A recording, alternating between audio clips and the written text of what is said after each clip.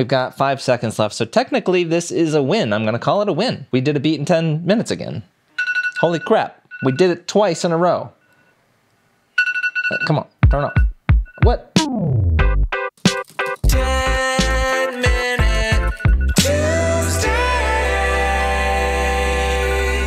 Hey everybody, welcome back to another 10 Minute Tuesday. My name's Brad Tennant. If you're new around here, 10 Minute Tuesday is a video series where I try to make a beat within 10 minutes. Last time I actually managed to pull it off, so make sure to check that video out. Uh, but I had a little bit of an idea of what I was doing when I went into that one, and this time I have zero clue what I'm gonna do. I'm flying completely blind here, and we're gonna put 10 minutes on the clock and just see what we can come up with in 10 minutes. Let's do it. Let's do it. Come on. All right. We've got drum track ready to go. Let's just try to record a simple drum beat. Oops, let's turn on the metronome.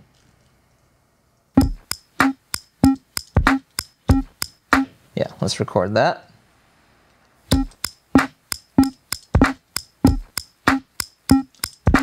All right, we've got the drums laid down and we have nine minutes left. Let's try to move on to some chords real quick. See what we can do with that. Switch to track one and let's see what we got.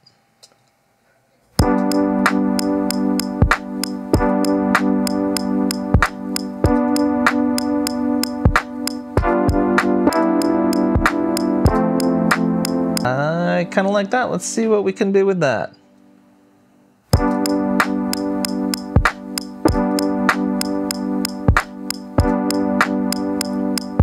All right, uh, we've got seven and a half minutes left. We've got drums and some chords. Let's see if we can come up with a cool bass line. Let's make sure we save that synth sound in case we need to come back to it. Okay, let's see what we've got as far as bass sounds go. All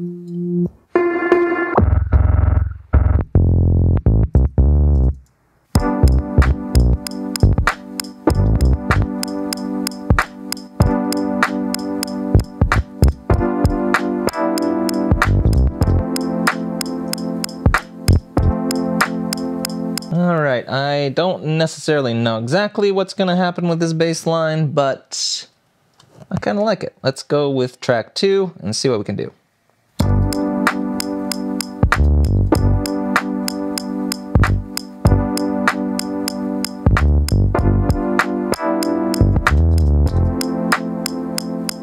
All right, we've got just under five minutes left. We've got some nice chords. We've got this nice little chill bass line. We've got some pretty chill drums.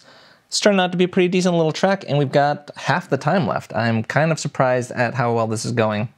Uh, let's see if we can do some sort of texture.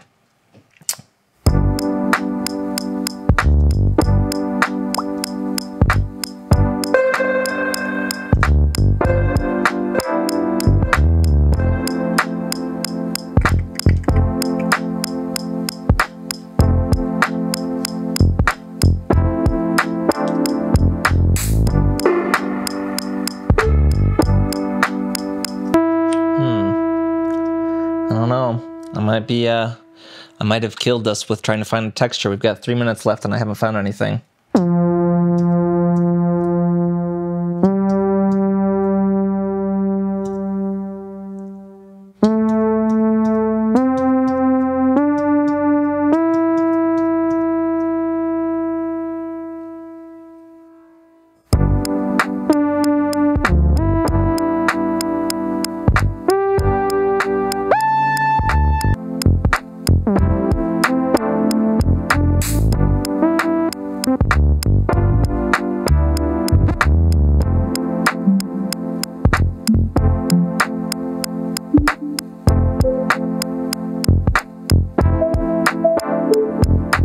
Right, I think Kids Show preset might have saved us.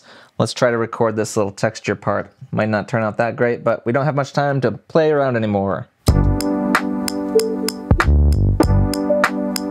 I don't like the way that's going in. Let's try different pattern.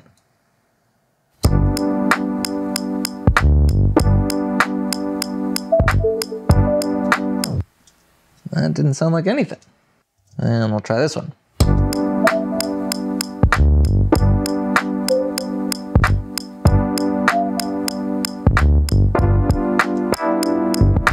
We've got drums, we've got chords, we've got bass, we've got some texture. It's very subtle texture, but it's there. And we've got five seconds left. So technically this is a win. I'm gonna call it a win. We did a beat in 10 minutes again. Holy crap. We did it twice in a row. Uh, come on, turn off. What? All right, so I'm going to call this a win, but I want to find some sort of lead to put over this because it needs something to kind of glue it all together. So let me do that, and I'll be right back. So we've got our drums. Okay, and then we recorded our chords.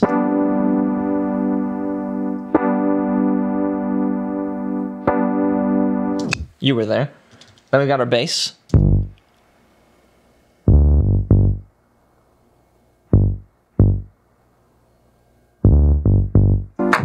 And we've got our atmosphere. Really subtle stuff.